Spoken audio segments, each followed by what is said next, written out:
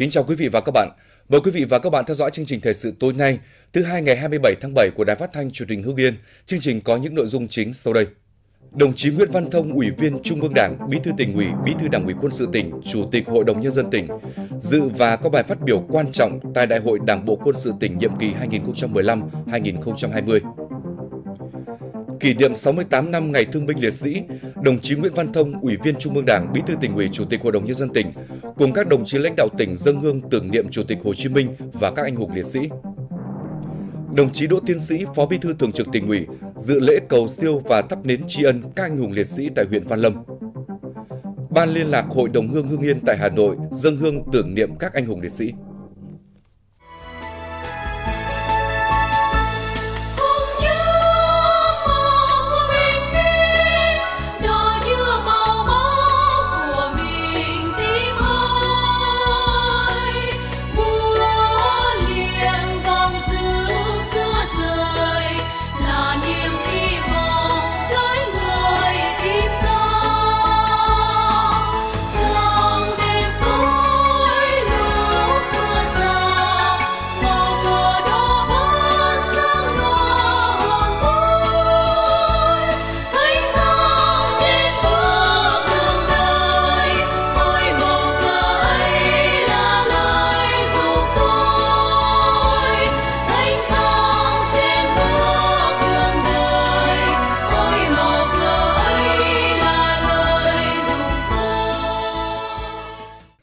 Thưa quý vị và các bạn, trong 3 ngày 26, 27 và 28 tháng 7,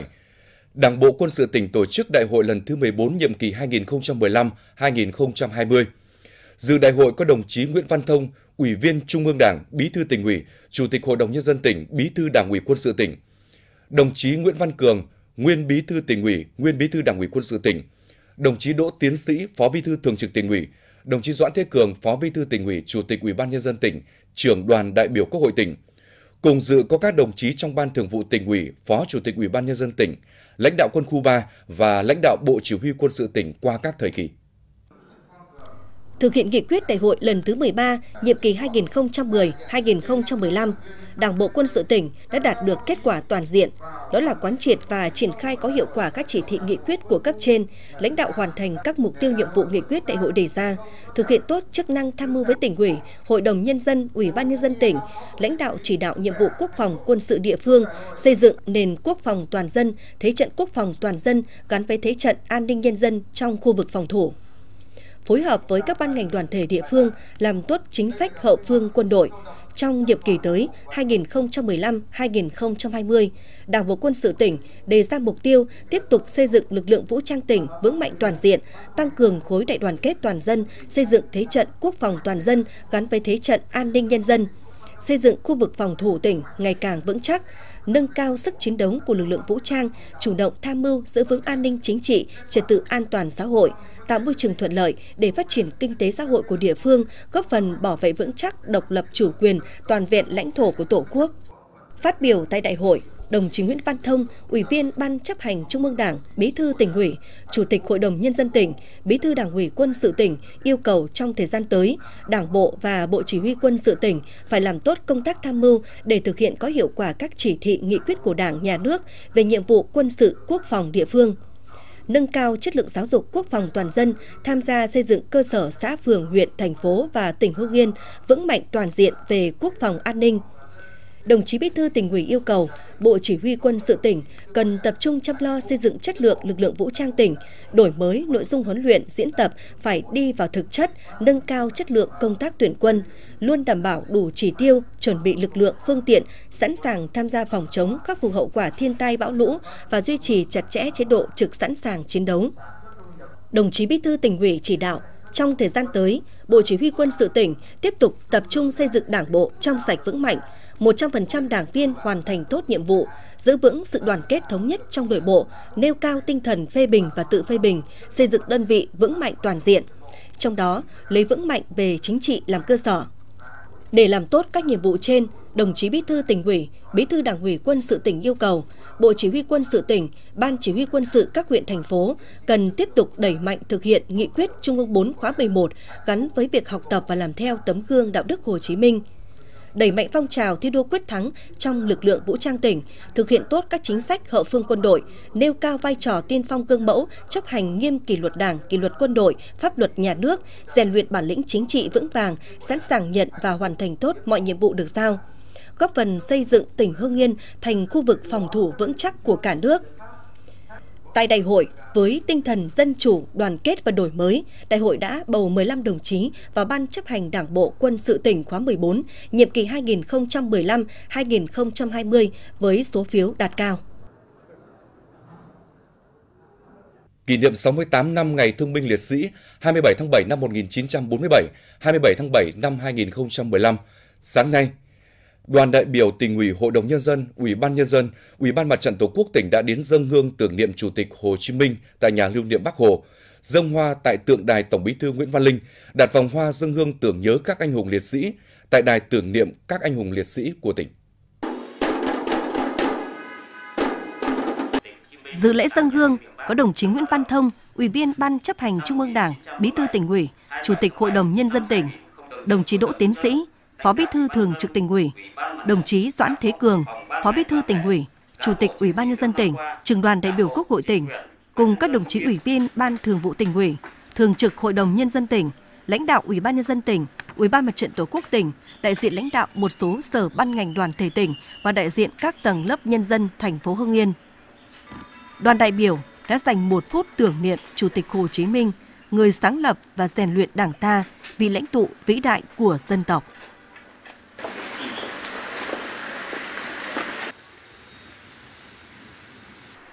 Tiếp đó, đoàn đại biểu dân hoa tại tượng đài Tổng Bí thư Nguyễn Văn Linh ở quảng trường Nguyễn Văn Linh.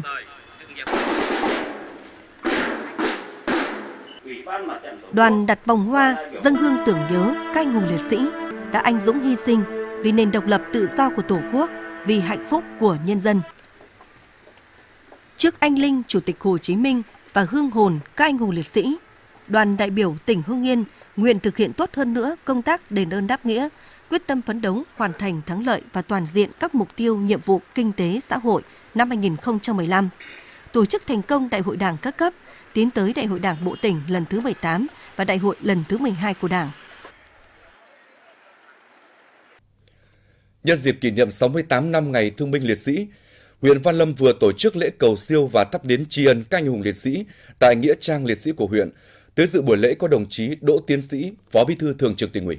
đồng chí Đỗ Tiến Sĩ cùng các đại biểu thân nhân các liệt sĩ cùng đông đảo các tầng lớp nhân dân đã thắp những nén hương thơm và kính cẩn nghiêng mình kính viếng hương hồn canh ngủ liệt sĩ, tỏ lòng tri ân sâu sắc đối với công lao và sự hy sinh to lớn của các anh đối với sự nghiệp giải phóng dân tộc. Nhân dịp này, huyện Văn Lâm đã trích từ quỹ đền ơn đáp nghĩa 24 triệu đồng tặng 76 xuất quà, một suất trị giá 300.000 đồng cho các đối tượng chính sách tiêu biểu. Ngoài ra, các cấp các ngành và nhiều tổ chức cá nhân đã có nhiều hoạt động đền ơn đáp nghĩa thiết thực như thăm hỏi, giúp đỡ và tặng quà. Các công đoàn cơ sở trong huyện đã nhận phụng dưỡng các mẹ Việt Nam anh hùng trên địa bàn, góp phần động viên và thể hiện trách nhiệm của thế hệ trẻ hôm nay đối với các thế hệ cha anh trong sự nghiệp đấu tranh giải phóng dân tộc. Kỷ niệm 68 năm Ngày Thương binh Liệt sĩ, ngày 26 tháng 7, Ban Liên lạc Hội đồng Hương Hương Yên tại thủ đô Hà Nội do ông Nguyễn Chiến, trưởng Ban Liên lạc làm trưởng đoàn, đã về dân hương tưởng nhớ Chủ tịch Hồ Chí Minh, Tổng bí thư Nguyễn Văn Linh và các anh hùng liệt sĩ tỉnh, tặng quà cho một số thương binh và gia đình chính sách tiêu biểu tại thành phố Hương Yên. Cùng dự lễ dân hương có đồng chí Đặng Ngọc Quỳnh, Phó Chủ tịch Ủy ban nhân dân tỉnh, đoàn đã đến dân hương tại nhà lưu niệm Chủ tịch Hồ Chí Minh bên Hồ Bán Nguyệt. Tiếp đó, đoàn đã đến dân hương đặt vòng hoa viếng canh hùng liệt sĩ tại Đài Liệt sĩ tỉnh và dân hoa tại tượng đài Tổng Bí thư Nguyễn Văn Linh. Thăm nhà lưu niệm Tổng Bí thư Nguyễn Văn Linh tại quê hương đồng chí ở thôn Yên Phú, xã Giai Phạm, huyện Yên Mỹ. Nhân dịp này, đoàn đã đến thăm trao tặng 20 xuất quà cho các thương binh gia đình liệt sĩ tiêu biểu của thành phố Hưng Yên, gửi tặng một tấn gạo cho hai trường phục hồi chức năng trẻ em khuyết tật tỉnh. Tiếp theo là chùm tin vắn phản ánh về các hoạt động đền ơn đáp nghĩa vừa diễn ra tại các địa phương. Sau hơn 30 tháng khởi công xây dựng, công trình đền tưởng niệm liệt sĩ huyện Yên Mỹ đã hoàn thành các hạng mục như nghi môn, đền chính, tả vu, hữu vu, lầu chiêng, lầu trống, hồ bán nguyệt, bia đá, lưu danh canh hùng liệt sĩ 17 xã thị trấn. khuôn viên cây xanh trên diện tích gần 10.000 m2, kinh phí xây dựng gần 60 tỷ đồng. Huyện ủy, Hội đồng Nhân dân, Ủy ban Nhân dân huyện, các ban ngành đoàn thể 17 xã thị trấn đã tổ chức nhiều hoạt động như thăm tặng quà các gia đình chính sách thương bệnh binh. Tối ngày 26 tháng 7, huyện Mỹ Hào tổ chức lễ dân hương và thắp nến tri ân tưởng niệm các anh hùng liệt sĩ tại Nghĩa Trang Liệt sĩ huyện. Trong không khí trang nghiêm của buổi lễ, các đồng chí lãnh đạo huyện, thân nhân các gia đình liệt sĩ, các đoàn viên thanh niên cùng đông đảo nhân dân đã dâng hương hoa tại đài tưởng niệm và các phần mộ tri ân các anh hùng liệt sĩ đã ngã xuống vì độc lập của dân tộc, hạnh phúc của nhân dân. Cũng nhân dịp này, các đồng chí lãnh đạo huyện, đại diện các ban ngành đoàn thể huyện đã tới thăm tặng quà mẹ Việt Nam anh hùng, các gia đình thương binh liệt sĩ, gia đình có công với nước trên địa bàn huyện. Với đạo lý uống nước nhớ nguồn, những năm qua, huyện Mỹ Hào luôn chú trọng công tác đền ơn đáp nghĩa chăm lo cho các đối tượng chính sách, người có công với cách mạng, kịp thời động viên, tạo điều kiện cho các thương bệnh binh gia đình chính sách trên địa bàn ổn định cuộc sống, vươn lên phát triển kinh tế. Trong thời gian qua, các ngành các cấp ở địa phương đã thăm hỏi động viên giúp vay vốn phát triển kinh tế, nhận phụng dưỡng mẹ Việt Nam anh hùng, hỗ trợ xây mới và sửa chữa được hơn 200 nhà ở cho các gia đình chính sách, mua và cấp hơn 3.000 thẻ bảo hiểm y tế. Nhân dịp 27 tháng 7 năm nay, huyện đã tặng và vận động các doanh nghiệp tặng gần 150 xuất quà, mỗi suất trị giá 500.000 đồng cho một số đối tượng chính sách đặc biệt. Nhân kỷ niệm 68 năm Ngày Thương binh Liệt sĩ chiều ngày 27 tháng 7, lãnh đạo Công an tỉnh đã đến thăm và tặng quà đồng chí Nguyễn Văn Quyền, đơn vị PC65 Công an tỉnh, là thương binh công an trong lúc đang tuần tra thi hành nhiệm vụ năm 2010, và đồng chí Lê Kế Họa, đồng chí Nguyễn Hữu Đức là thân nhân liệt sĩ Công an Nhân dân – lãnh đạo công an tỉnh đã ân cần thăm hỏi, động viên và tặng quà, mong các đồng chí tiếp tục phát huy truyền thống của cha ông, phấn đấu hoàn thành xuất sắc nhiệm vụ giữ gìn an ninh trật tự và bảo vệ cuộc sống bình yên của nhân dân. Với đạo lý uống nước nhớ nguồn, thành phố Hưng Yên đã có nhiều việc làm thiết thực đối với các gia đình chính sách, giúp họ vơi bớt phần nào khó khăn trong cuộc sống. Trong dịp kỷ niệm Ngày Thương binh Liệt sĩ 27 tháng 7 năm nay,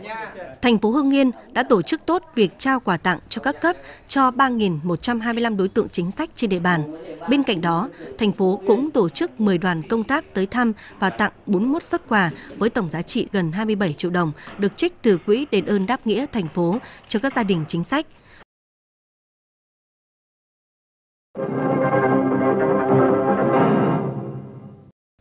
Thưa quý vị và các bạn, đến nay, huyện Tiên Lữ đã có hai xã được công nhận đạt chuẩn xây dựng nông thôn mới. Năm 2015 sẽ có thêm hai xã là Hưng Đạo và Hải Triều, phấn đấu hoàn thành các tiêu chí xây dựng nông thôn mới.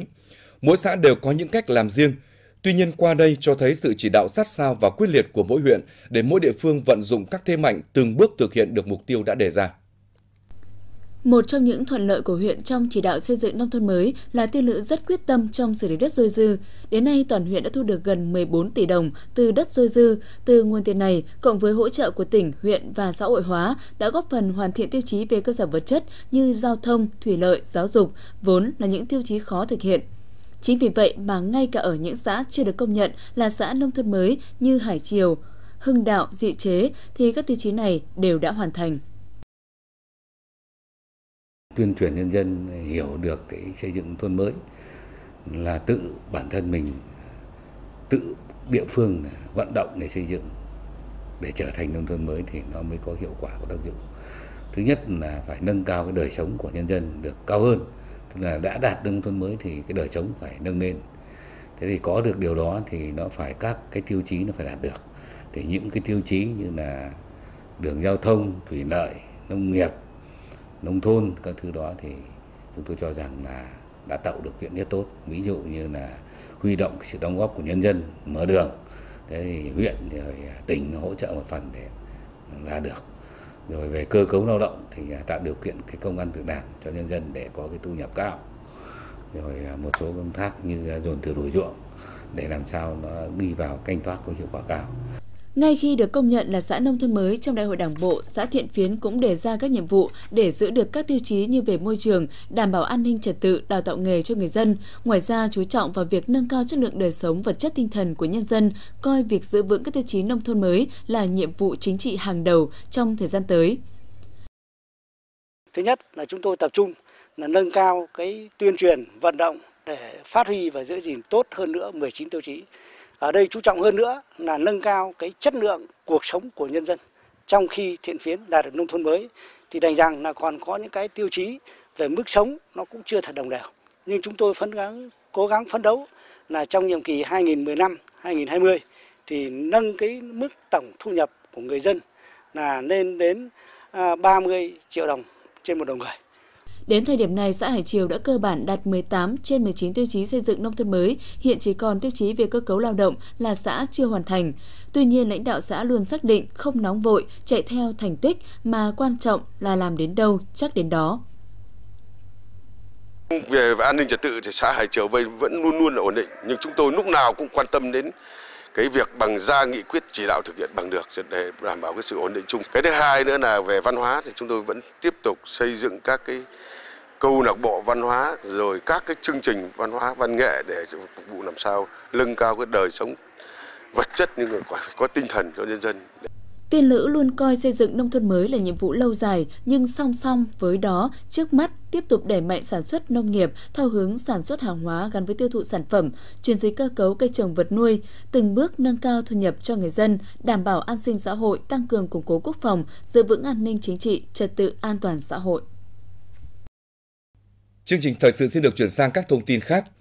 Nhằm giúp các em có một mùa hè vui chơi bổ ích, ngày 25 tháng 7, tại chùa Tiên Quán, xã Phạm Ngũ Lão, huyện Kim Động, Ban trị sự Hội Phật giáo tỉnh đã tổ chức hội trại Lục Hòa 6, gia đình Phật tử, Giáo hội Phật giáo Việt Nam. Tham gia hội trại có trên 300 trại sinh viên đến từ các địa phương trong và ngoài tỉnh. Mục đích của hội trại nhằm giúp cho thanh thiếu niên Phật tử tại gia rèn luyện kỹ năng sống và biết sống hướng thiện – Thông qua đó, giáo dục thanh thiếu niên nên làm điều hay, điều tốt, biết giúp đỡ mọi người, tránh điều xấu, tránh xa các tệ nạn xã hội, phấn đấu trở thành những công dân có ích cho xã hội. Phát huy tinh thần sung kích của tuổi trẻ, nhiều năm qua, Đoàn Thanh niên xã Chính Nghĩa huyện Kim Động đã tích cực hưởng ứng và huy động đông đảo đoàn viên thanh niên trong xã tham gia hiến máu tình nguyện. Hàng năm, đoàn thanh niên xã tham gia từ 1 đến 2 đợt hiến máu, số lượng đoàn viên thanh niên tham gia hiến máu tình nguyện luôn vượt chỉ tiêu được giao. Trung bình mỗi đợt có 30 đoàn viên thanh niên đăng ký hiến máu. Nhiều thanh niên đã nhiều lần hiến máu như anh Hoàng Minh Hải, bí thư đoàn xã 7 lần hiến máu, anh Đỗ Quang Phúc và Nguyễn Trọng Châu 6 lần hiến máu. Giữ cương vị Chủ tịch Hội Nông dân xã Văn Nhuệ, huyện Ân Thi từ năm 2003, bà Trương Thị Triển luôn là người có trách nhiệm trong công việc, hoàn thành tốt mọi nhiệm vụ được giao, đưa phong trào Hội Nông dân cơ sở ngày càng phát triển vững mạnh. Trong những năm qua, bà Triển cùng với Ban thường vụ của hội tạo một điều kiện thuận lợi để các hội viên phát triển kinh tế, được vay nguồn vốn ưu đãi từ các ngân hàng với tổng số tiền gần 17 tỷ đồng cho khoảng 400 hội viên vay. Đẩy mạnh các hoạt động dịch vụ dạy nghề tư vấn hỗ trợ nông dân, trung bình hàng năm phối hợp với các cơ quan hữu quan tổ chức 6 lớp chuyển giao khoa học kỹ thuật cho 900 lượt hội viên cung ứng 70 đến 75 tấn phân bón trả chậm các loại cho bà con nông dân. Đến nay, có 41 hội viên nông dân tại địa phương đạt danh hiệu sản xuất kinh doanh giỏi cấp tỉnh, huyện. Từ khi mà được ờ, sự ờ, hướng dẫn cũng như là quan tâm của các chi hội, nhất là chi hội của nông dân tập thể, chị Triển là người ờ, hướng dẫn đem đến các cái công trình khoa học kỹ thuật và tạo điều kiện cho chúng tôi vay vốn của các cái ngân hàng chính sách thì từ đó chúng tôi mới có được một cái nguồn vốn lớn. Với phong trào nông dân thi đua xây dựng nông thôn mới bằng nhiều hình thức tuyên truyền vận động đến gia đình các hội viên tham gia đóng góp với số tiền thu được trên 2 tỷ đồng và hàng ngàn ngày công lao động cùng với các đoàn thể tại địa phương làm đường giao thông thôn xóm, giao thông nội đồng. Chủ trương dồn thừa đổi ruộng buổi đầu gặp phải nhiều khó khăn, song bằng sự vào cuộc tích cực của bà Triển và các thành viên trong ban chỉ đạo, đến nay cơ bản nhận được sự đồng tình ủng hộ của nhân dân. Đồng chí là luôn là một, tức là người đảng viên và người gương mẫu trên mọi phong trào, vận động người thân và tất cả, tức là hội viên là chấp hành rất tốt để các cái chủ trương cũng như của cấp trên và cũng như các cái hương ước quy ước ở địa phương. Thì trong khi đồng chí làm, đồng chí tuyên truyền nó rất tốt. Và đồng chí luôn, tức là đi đầu trong mọi phong trào của xã với những đóng góp tích cực trên, bà Triển được tặng thưởng nhiều bằng khen, giấy khen vì có những thành tích xuất sắc trong công tác hội, góp phần đưa các phong trào nông dân của xã Văn Nhuệ đạt được kết quả cao và luôn là một trong những đơn vị dẫn đầu của Hội Nông dân huyện. Thưa quý vị và các bạn, trong chương trình thời sự tối mai, thứ ba ngày 28 tháng 7 của Đài Phát thanh Truyền hình Hưng Yên, cùng với các tin tức sự kiện nổi bật diễn ra trong ngày, chương trình có những nội dung đáng chú ý sau đây. Khoái Châu một sào nhãn sớm cho thu lãi trên 20 triệu đồng. Gia đình anh Nguyễn Văn Phóng ở xã Minh Châu, huyện Yên Mỹ thu nhập cao từ nuôi vịt trời. Mời quý vị và các bạn chú ý đón xem.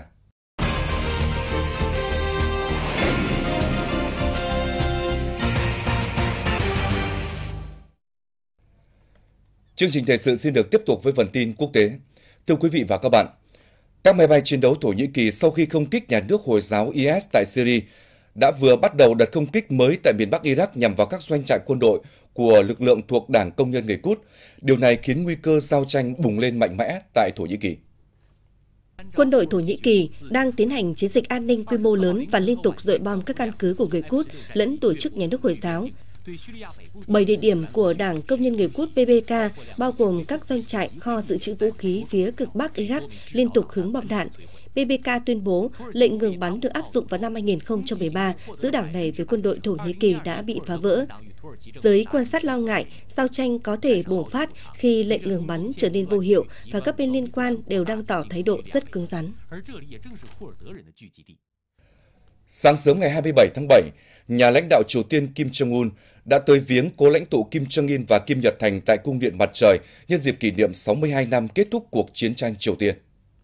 Theo bản tin của hãng thông tấn Trung ương Triều Tiên KCNA, ông Kim Jong-un cùng nhiều quan chức cao cấp của quân đội đã cùng vào cung điện mặt trời để viếng hai cố lãnh đạo, đồng thời là ông và cha của Kim Jong-un. Trước đó, tại hội nghị cựu chiến binh toàn quốc lần thứ tư tổ chức tại Bình Nhưỡng hôm 26 tháng 7, ông Kim đã kêu gọi thanh niên Triều Tiên tiếp nối tinh thần bảo vệ Tổ quốc của các liệt sĩ và cựu chiến binh, một động thái được nhiều nhà quan sát cho là để củng cố sự gắn kết giữa các thế hệ già và trẻ. Ngoài ra, đây cũng là một dịp hiếm hoi, ông Kim Jong-un bày tỏ lòng kính trọng đối với các cựu chiến binh Trung Quốc đã giúp đỡ Triều Tiên trong cuộc chiến tranh này. Sau 3 tuần liên tiếp không phát hiện ca nhiễm hội chứng hô hấp vùng Trung Đông MERS, chính phủ Hàn Quốc cho biết nước này về cơ bản đã hết dịch MERS. Theo Bộ Y tế Hàn Quốc, 3 tuần qua, nước này không phát hiện thêm trường hợp mới nhiễm MERS, cũng không có người tử vong do bệnh này trong 14 ngày qua. Hiện tại, tổng số ca nhiễm bệnh dừng lại ở con số 186, trong đó 36 người tử vong, 138 người đã được ra viện sau khi hồi phục hoàn toàn. 12 người vẫn phải điều trị trong viện nhưng có kết quả âm tính với MERS. Như vậy, về cơ bản Hàn Quốc đã không còn dịch MERS. Theo quy định của Tổ chức Y tế Thế giới, tuyên bố về việc chấm dứt của sự bùng phát sẽ được đưa ra ít nhất là 28 ngày sau khi bệnh nhân cuối cùng bình phục hoàn toàn. Hải quân Nga vừa long trọng kỷ niệm Ngày Hải quân với sự phô diễn sức mạnh của hàng trăm tàu chiến trong niềm tự hào của một cường quốc hải quân hàng đầu thế giới. Thủy thủ đoàn của hơn 89 hạm thuộc Hải quân Nga đã cùng diễu duyệt trên biển trong ngày 26 tháng 7 nhằm kỷ niệm Ngày Hải quân Liên bang Nga. Tại lễ kỷ niệm Ngày Hải quân Nga, Tổng thống Putin đã tuyên bố quy chế cường quốc biển đối với Nga cũng đồng thời là trách nhiệm lớn lao thế hệ hôm nay cần làm hết trách nhiệm để chuyển giao cho các thế hệ tương lai một lực lượng hải quân hiện đại và hùng mạnh. Hiện Nga đang nỗ lực khôi phục vị thế của một cường quốc hải quân hàng đầu thế giới. Hơn 80 chiến hạm và tàu hỗ trợ các lớp khác nhau của Hải quân Nga đang đảm nhận các nhiệm vụ ở những khu vực biển khác nhau trên thế giới. Hôm 25 tháng 7, một vụ đánh bom tự sát tại miền Bắc Cameroon chỉ 3 ngày sau khi xảy ra hai vụ đánh bom mà thủ phạm nghi là lực lượng phiến quân Boko Haram khiến ít nhất 21 người thiệt mạng. Người dân nơi xảy ra vụ việc cho biết kẻ mang bom là phụ nữ đã tấn công vào nhà hàng vào khoảng 19 giờ 50 phút giờ địa phương. Ngay sau khi bom nổ, lực lượng quân đội đã cứu hộ khẩn cấp và đổ tới hiện trường tìm kiếm người sống sót. Một quan chức quân đội ở tỉnh Marura, nơi xảy ra vụ đánh bom cho biết có ít nhất 21 người thiệt mạng và 62 người khác bị thương. Trước đó, hai vụ đánh bom đã xảy ra ngày 22 tháng 7, làm chết 13 người và bị thương 32 người khác. Một vụ tai nạn xe buýt hy hữu vừa mới xảy ra tại miền Bắc nước Pháp khi phần nóc của một chiếc xe buýt đã bị phạt bay khi chiếc xe này cố chui dưới một cây cầu. Theo thông báo có khoảng 34 người bị thương. Vụ tai nạn xảy ra vào lúc 5 giờ 30 phút sáng ngày 26 tháng 7 khi chiếc xe buýt chở 58 người từ Tây Ban Nha chui qua dưới cây cầu có độ cao giới hạn là 2,6 mét, tức là thấp hơn nhiều so với chiếc xe này. Khoảng 34 người chủ yếu là sinh viên Tây Ban Nha bị thương, trong đó có 6 người ở cuối xe bị thương nặng do phần nóc xe bị dồn nát và đẩy về cuối xe. Thông tin quốc tế vừa rồi đã khép lại chương trình thời sự của Đài Phát thanh Truyền hình Hưng Yên. Cảm ơn quý vị và các bạn đã quan tâm theo dõi và xin kính chào tạm biệt.